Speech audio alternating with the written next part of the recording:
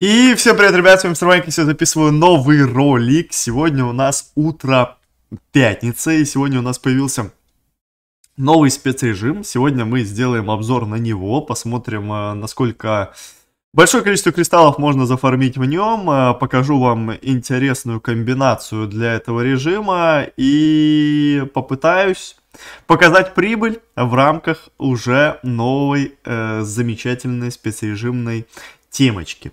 Если вам подобного рода видосы нравятся с обзором как раз таки режимов, которые у нас выходят, то обязательно не забывайте поддерживать данный видос лайком, ну и конечно же подписываться на канал. Я сегодня буду использовать э, вооружение, которое на постоянной основе в матчмейкинге я не использую но которое должно быть очень-очень сильно эффективно как раз-таки в этой демочке, и это Паладина Молот. Э, Паладин, конечно же, с иммунитетом от пробития и молот с адаптивной перезарядкой.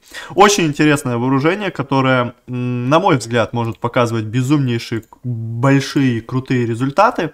Единственное, э, по резистам, э, что здесь лучше взять, ну давай, давайте, наверное, поменяем резист от магнума на резист от грома, потому что у нас появилось очень жесткое устройство на гром. У меня есть уже мысли, что, скорее всего, там уже начинают появляться эти игроки с громами. Поэтому э, возьмем резист от него, ну и посмотрим, что у нас получится сделать в матчмейкинге в новой демочки. Это либо песочница remaster, либо Forest remaster. Я бы, наверное, даже хотел бы на таком сочетании больше поиграть как раз таки на песочнице. Но если закинуть на Forest, в принципе, ничего там сильно не поменяется. Ну и будем пробовать реализовывать в рамках демочки. Так, у нас какой-то небольшой пролаг в рамках DM-очки это замечательное сочетание. Так, ну и что? Ладно, давайте, меня запикивает в начатый бой, где уже 37 киллов есть у первого места. Но, но, но, давайте мы сыграем эту катку. Я не буду ее перепикивать. Есть здесь рикошеты. О, в большом количестве рикошеты есть, оказывается. Я немножечко не предугадал здесь по резистам. Я просто сегодня не заходил в этот режим. Я решил чисто, как говорится, слепую, слепую пикнуть. И порезом слепую, к сожалению, я пикнул не совсем правильно. А, если а, вы будете играть в этом режиме, то вы видите, что лучше всего брать как раз-таки резист от Рикошета, от Теслы и от Скорпиона. Именно такая раскладка по резистам будет супер актуальна в этом режиме. Но я думаю, что даже без большого количества резистов мы за счет реализации как раз таки этого вооружения сможем все равно показать хороший результатик. Так, со мной уже здороваются. Ну и самое важное это контроль центрального овердрайва. Если мы здесь его будем контролировать, то у нас будет... Ой-ой-ой-ой-ой, ой-ой-ой, Danger Force, как грязно играет. Очень грязно он сейчас сыграл как раз таки по центральный овер, но его забрать не смог. Хотя это выглядело очень-очень интересно. Так, давайте пробовать сливать молодых людей. Давать как можно больше киллов. Не забывайте, что я запикался в катку, где оставалось вроде, если я не ошибаюсь, 8 минут. Но за счет как раз-таки адаптивной перезарядки у вас открывается безумно большое количество возможностей и без овердрайва, и с овердрайвом на дополнительное уничтожение противника. Ареса Скорпион тоже, э, на мой взгляд, является неплохим вариантом, неплохим вооружением, которое можно, по идее, пробовать реализовывать здесь, как и Ареса Гром, и как и Рикошет с Гелиусом, но все эти вооружения, на мой взгляд, являются хуже, чем как раз-таки молот с адаптивной перезарядочкой. Но тут, конечно, тоже в моменте может зависеть многое от количества резистов от вас. Ну и повышенный шанс выпадения голдов, это, конечно, тоже очень-очень хорошая вещь, если вы как раз-таки акцентируете на этом внимание, то, конечно, можно под это все дело играть. Ну и вот, пошла реализация овердрайва. Смотрим, что у нас будет с овердрайвом здесь получаться. Полетели килочки. Еще бы сверху контролинг как раз таки центральной оверки. Вы видите, что я пережимаю ДДшку и не тру, не броню, да, потому что безумно большое количество урона влетает в тайминг, и все, что мне нужно делать, это быстро передвигаться по целям и как раз-таки наносить, наносить пробитие. Так, отлично. Отлично, плюс 2 килла. По вас пику еще добавляем. Шикарно. Все супер. Э, все игроки, которые резистов не имеют, очень легко улетают на респ. И даже бывает в тайминге мне хватает выдать одну хорошую тычку, и противник уже летит на респ. 27 киллов. 20, мать его, 7 киллов уже есть у нас за 3 с небольшим минуты. То есть, по сути, у меня есть возможность здесь вернуться настолько грязно в эту катку, что э, забрать, забрать, забрать как раз таки первое место. И это с катки, которую я запикался, грубо говоря, в середине. Да, может быть, даже больше середины. Это при том, что у меня овердрайва не было в начале. Да, то есть, ну, это такие вещи, которые очень сильно влияют на ваш конечный э, итог в бою. Но что творит это вооружение, вы сами, я думаю, что понимаете и видите. Да, насколько здесь можно жестко влетать, насколько можно жестко давать, убивать, разваливать. Блин, что мне даже хочется сыграть, если честно, еще одну каточку. Только уже, чтобы это была полный бой. И чтобы уже пошла прям конкретная реализация этого вооружения. Ну и сверху, конечно же, было бы неплохо поменять резисты, потому что я уже сейчас понимаю, от чего здесь резисты нужно в этом режиме. Это Тесла, Рикошет и Скорпион. А у меня резисты немножечко неграмотные одеты. Но это может быть только в рамках этого боя, может быть в рамках других боев там и другие резисты нужны будут, но в рамках этого боя точно и мне бы эти резисты пригодились. Ой-ой-ой, тише, тише, тише, молодой человек. Поэтому мне хотелось сейчас грамотно так обломать. Но мы засейвились. Так. А, кризис с Гелиосом тоже является очень противной вещью, которая может неприятно нанести большое количество урона, но здесь мы чуть ушли, подсейвились. 44 килла, еще 3 минуты до конца у меня имеется. Мне вот интересно, сколько вообще киллов можно дать за эту демку. Но вот исходя из такого боя, исходя из такого боя, я думаю, что... Ну, 100 киллов точно смело можно дать. Точно. Вот я уверен, что сотка 100% залетает, потому что если я запикался в середину боя, и у меня 45, значит, за где-то минут 5-6, да, то есть, ну, я думаю, что как раз-таки сотик здесь очень легко может залететь, если еще играть в полный контролинг центрального овердрайва, то это еще плюс дополнительные киллы, это плюс дополнительные бабки, плюс дополнительные возможности в бою, поэтому я думаю, что если все правильно и грамотно делать, то тут вообще переход очень лютый можно оформлять. И самое главное, это посмотреть, сколько здесь по прибыли можно вообще получить. Сколько здесь можно залететь по прибыли. Прибыль же это тоже очень важная и интересная вещь. Интересная. Ну и плюс, вы должны понимать, что это супер фармовый режим с точки зрения того, что вы можете еще сверху забирать как раз таки э, золотые ящики. Это вообще один из самых фармовых режимов, который может быть, да, в рамках именно э, DM-ки, да, потому что здесь шикарная карта. Единственное, что здесь может быть не так, это то, что вам эта DM-ка надоест. Ну, реально, она может надоесть. А так, с точки зрения фарма, это просто супер жесткая э, и карта, и режим в целом, да. Я считаю, что он прям очень круто сочетается своем виде. И здесь, да, ну вот если я, например, сейчас использую паладина да, как, на мой взгляд, лучшее вооружение, то я бы, наверное, сказал, что здесь можно найти много всяких интересных комбинаций, при том, что есть сейчас большое количество устройств донатных, и как раз таки под эти все донатные устройства можно показать очень качественную грязную реализацию. 62 килла.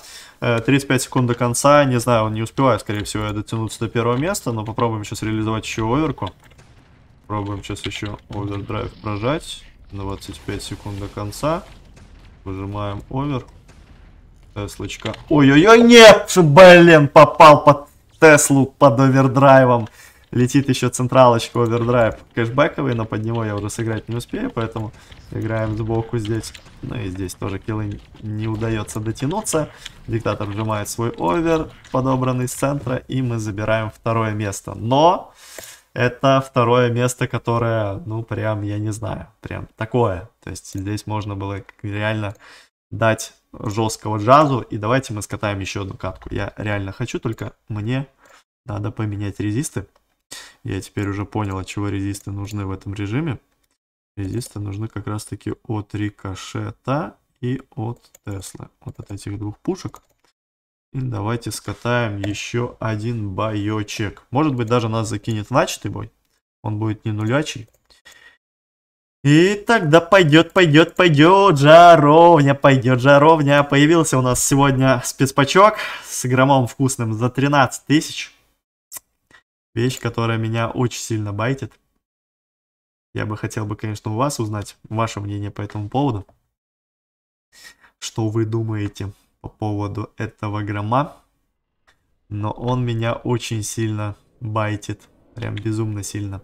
Так, ну что, мы запикиваемся в ДМочку. Э, запикиваемся, я смотрю, что уже с одним жестким кибером. У которого никнейм Илюша. Илюшечка.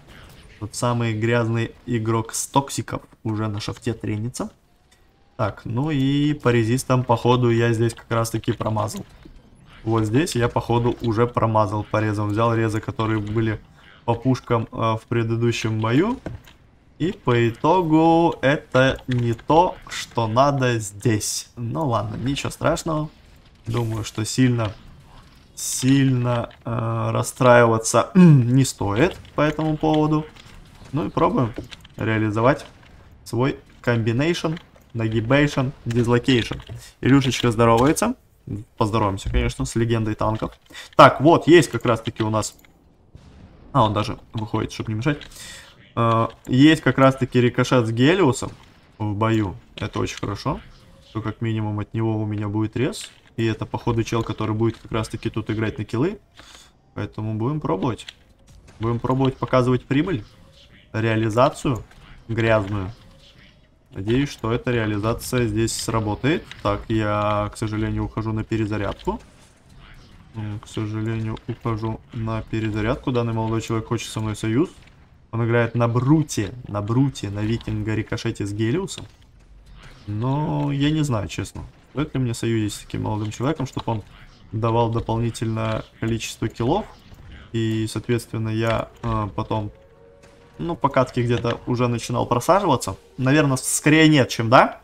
Все-таки, если тут больше игроки сейчас будут сконцентрированы на поимке золотых ящиков, а я буду играть в киллы, то у меня будет возможность как раз-таки сделать большое количество киллов плюс отрыв. И если это реально будет так, то здесь можно очень грязно заработать с этого боечка. Блин. Как же Твин Сэми сейчас очень неприятно сыграл. Прям очень неприятно. Ладно, 17 килов у нас за 3 минуты. Пока что начало не самое лучшее. Но сотка, сотка стабильно должна залетать. Так, овердрайв. Вот теперь мы начинаем контролинг как раз таки центральной оверки. И играем, короче, по такой схеме. То есть мы э, контролим овердрайв с центра, да, желательно. Всего, всегда желательно так делать. Если у вас есть оверка, то вы вжимаете свою оверку, забираете еще одну оверку и оставляете эту оверку на следующую оверку. Надеюсь, вы поняли мою мою идею. Может, может, конечно, не до конца понятно, но... Короче, такая схемка есть интересная, которую нужно пробовать реализовывать. Главное, конечно, не провтыкать тайминг этого овердрайва, потому что я не запомнил, во сколько он был. Ну, примерно по ощущениям, я думаю, что будем работать. Так, по два выстрела вот эти вот молодые люди, если аптечки не вжимают с резистами. Ну, а вот такие хорьки на... А, хотел сказать я на ваншот, но не на ваншот, не на ваншот. 27 килов. 4 минуты прошло боя. Очень хорошо. Очень хорошее начало для нас. Э, хопперы, которые как раз-таки могут очень легко улетать на рез. Ну и викинг, который заставляет меня уходить на перезарядку. Здесь, я так понимаю, еще и сверху мега голды могут падать, да? То есть, ну, здесь вообще в теории может быть прям лютейшая фармилка. Да, прям супер лютейшая фармилка. Если акцентировать внимание на всех голдах и всех вот этих вот темках, то можно прям очень не кисло заработать. Но я в рамках именно этого боя э, стараюсь акцентировать свое внимание на как раз таки контролинге овердрайва. Но и этот овердрайв я, к сожалению, не забрал. К сожалению, не забрал. Ладно, давайте пробовать тогда реализовывать овердрайв. Ну, здесь надо по таймингу играть чуть. Чуть если тайминг ловить, то будет, конечно, с овердрайвом проще. Лучше, конечно, вообще таймер включил на овер играешь. Как говорил великий Глеб Абулыч. Глеб Абулыч ерунды не посоветует. Так, ну и вот эти вот ваншоты. Это, конечно, прям супер вкусная вещь. Когда игроки играют без иммунитетов от пробития, вы просто влетаете в них и уносите им эту башню. Это прям супер жестко. Так, 35 килов. Мы идем на как раз таки сотку. Это очень хорошо, что сотка здесь идет в наши руки. Ну и молот себя показывает супер грязно. Супер круто. ДАшку не прожимает молодой человек. Как раз у меня один выстрел оставался в баллоне. Это очень хорошо. Так, еще дополнительный урончик.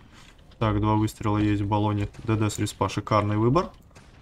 Шикарный выбор ДД с респа. Так, ну я не знаю, вот этот молодой человек такой. Опасный. Ну, лучше, наверное, по нему накидывать, конечно, конечно. Лучше по нему накидывать. Даже при том всем раскладе, что он дает здесь. Я думаю, что по нему лучше, конечно же, накидывать, даже несмотря на то, что у него есть резист. Так, отлично. Добираем. Добираем здесь прибыль. Овердрайв падает на центре. Так, диктатор вжимает свою оверку. Ай-яй-яй-яй, хоппер. Хоппер, хоппер, хоппер. Хоппер вжал овердрайв. Не дал мне возможность забрать оверку. Ой-ой-ой, шар, боже, конечно, это жестко. Это жестко, это жестко, это жестко. В таких моментах, конечно, чувствуется, чувствуется, что тяжеловато. Ой, у контейнер летит. Ну, под контейнер, я думаю, что и можно и сыграть, если честно. Ай-яй-яй-яй. Что-то я поторопился чуть-чуть. Чуть-чуть попозже бы сыграл бы. Можно было бы себе сверху контейнерочек вкусный взять. Так, ну тут, по идее, даже и резистат молота уже, я смотрю, что эффективны будут. Рикошет, молот эффективны будут. Ну, здесь, короче, пока что каждый бой индивидуален, пока еще утро. Да? Я думаю, что ближе уже к середине дня тут уже игроки будут плюс-минус играть на постоянной основе на одних и тех же пушках. И там уже как раз-таки можно будет нормально читать от чего резисты брать. Пока что еще, видите, такие непонятные моменты, да, то есть где-то что-то берут дефолтное, где-то не дефолтное. И тут уже такие вещи. Ой-ой-ой. Он, конечно... Блин, не ваншотнул, на перезарядку ушел. Блин, это печально, когда ты так уходишь на перезарядку. Когда у тебя последний выстрел, блин, еще и типс уничтожается. Блин, ну ладно. Ладно, ничего страшного. Так, мне надо сейчас возвращаться в эту игру. Потому что пока что по киллам все не очень хорошо у нас. Драйв падает на центре, конечно же, вжимаю свой. Играю в контролинг центральной оверки. Забрал я ее в семерочку, значит 5.20 как раз таки будет овердрайв. Так, и играем противника. Играем как раз таки викинга рикошета, который с своим овердрайвом, я думаю, что здесь грязючки понаделать хотел бы. Так, ну и пробуем, пробуем дополнительно еще сливать, сливать и еще раз сливать. 56 килов, у второго места 43, у третьего 18. То есть в теории, если бы этого молодого человека на викинга рикошете не было, тут вообще бы можно было бы очень хороший отрыв сделать за закаточку. Ну, посмотрим. Посмотрим, что будет по прибыли. Десятка здесь точно смело должна залетать, может быть даже больше. Я, честно, не знаю, сколько сейчас за ДМки такие дают кристаллов. Так, играем. Играем агрессивно. Играем агрессивно. До овердрайва еще где-то секунд 30 есть.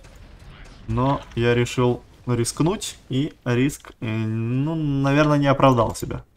наверное, не оправдал себя, если бы я бы полностью бы пожил бы и полностью реализовал бы овердрайв, то, наверное, это было бы хорошо, но так как я слился овердрайвом, то это не очень круто. Аптечки жмут все. Благо у меня три выстрела в баллоне, и я могу успеть добить противника. Так, овердрайв падает. Блин, как будто знают, что овердрайв падал. Специально так сыграл, чтобы я под него не смог заехать. Ну ладно. Кризис, конечно, это очень дорогое удовольствие, да, я думаю, что будут те ребята, которые напишут в комментариях под этот видос, что типа, мол, ты там тратишь большое количество расходки, но кризис уже изначально это та, тот дрон, который не предназначен для того, чтобы вы смотрели, сколько расходки у вас уходит. Да, то есть это, ну, это не та вещь, да, то есть, если вы игра... берете вообще изначально кризиса, да, и смотрите на то, сколько он хавает у вас расходки, то значит, это не тот дрон, на которого вам нужно играть. Я бы сказал бы так. Да. Поэтому для меня лично ну, в такой демке лучше дрона вы точно не найдете. Да, то есть его нету, просто нету. Здесь можно, конечно, поиграть на том же Гиперионе, но под него надо уже определенное вооружение, например, Дика Страйкера с дистанционным подрывом можно реализовать, и он будет работать, я уверен да, потому что здесь не будет резистов от страйкера, а если не будет резистов от страйкера, то страйкер как раз таки будет давать большое количество киллов, и это будет эффективно и круто работать. Но какие еще вооружения использовать под Гипериона, здесь уже, ну, такой выбор более тяжелый становится. Так, ДД начинается респа, очень хорошо, очень хорошо, когда ДД с респа начинает как раз таки мой конкурент по киллам. Это прям супер, великолепно. Так, вот этот молодой человек все время хавает аптечки и сверху еще падает на самоуничтожение. Так, э, хоппер с овердрайвом имеющимся. Так, я опять профукал, если честно, тайминг овердрайвов на центре. Опять в этом плане небольшие проблемки случились, но ладно.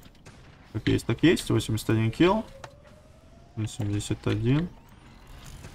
Так, выжимается овердрайв от противника с диктатором как раз с сжигой с оглушением. Вариантик такой интересный на реализацию.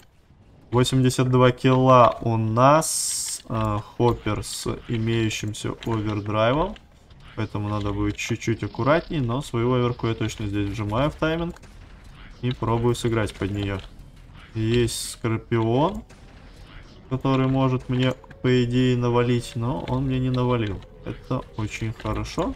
Викинг вжимает свой овердрайв. Уже э, разряжается полностью. Ну и моя овердрайвена подходит к концу. По идее, с этого овердрайва неплохое количество киллов залетело. 89 у нас уже есть. 3 минуты до конца. Сейчас мы уже выходим на неплохую прибыль. Неплохую прибыль. То есть это уже... Ну, практически, грубо говоря, сотка в кармане. Конечно, нельзя так особо сильно говорить, потому что может быть такое, что сотка-то в кармане, но где-то она грязно не залетит, и все пойдет не так шикарно, как хотелось бы, но благо, благо, благо, благо, у нас есть еще как минимум один овердрайв, которые мы сможем как раз таки реализовать. Реализовать. Так. 5%, ой, 5%, 5 килов. 5 килов до сотки. Но я должен полететь в эту сотку, 100% уже. Я не знаю, что здесь должно произойти, чтобы я до этой сотки не долетел. Отлично, отлично. 98. Из-под трупа 99. 99. Ай, сотого, не успел чуть-чуть. Голд! Мега Голдикс! Блин, вот если сейчас я бы Мега Голдик бы тут сделал бы на видос, это было бы супер круто. Это было бы бомбически. Так, сыграть под Мега Голд. Сыграть под Мега Голд. Где Мега Голд? Не вижу. Вижу. Вижу Мега Голд. Падаю. Падаю. Ай-яй-яй-яй-яй. Да, чуть-чуть я, конечно, завтыкал тайминг вкусный. Ладно, 101 килл. 101 килочек, 102 килочка. Одна минутка остается до конца и 80% овердрайва у меня. Надо быстро сейчас дать пару киллов и сыграть под овер. и сыграть под овер, и сыграть под овер. Так. Блин, была возможность плюс килла. Была возможность еще раз плюс килла. Ладно, реализуем. Так, арес, отлично. На респик. Так, 95%, еще один килл. Еще один килл. Без аптечки. Хорошо. 99 э, сотка есть. 30 секунд. Реализация пошла. Пошла жаришка, пошла жаровня. Есть контактик. Э, так, этот с иммуночкой. О, по кругу развиваем, развиваем эту скорость. Развиваем скорость. Быстрее перезаряжаемся только. Ой-ой-ой, не понял. Че это залетело неграмотно? Ну и 112-шка. 113-шка. 114-шка. 115-шка. 116-шка. Офигеть. 116 килов. Сюда двенашечка. Грамотная. И сверху 14 тысяч опыта. И я вам могу сказать, что это далеко не предел. Далеко не предел. Можно давать намного больше. Можно давать еще грязнее. Уносить в хламину эту ДМ-ку и зарабатывать безумно большое количество кристаллов. Если вам понравился данный видос, то обязательно поддерживайте его лайком. Подписывайтесь на канал, если вы еще вдруг не подписаны, нажимайте на колокольчик, дабы не пропускать новые видеоролики. Ну и, конечно же, не забывайте про тег создателя контента, который находится в настройках игры. В аккаунтике снизу мой личный тег создателя контента, это тег TeamP, устанавливайте его.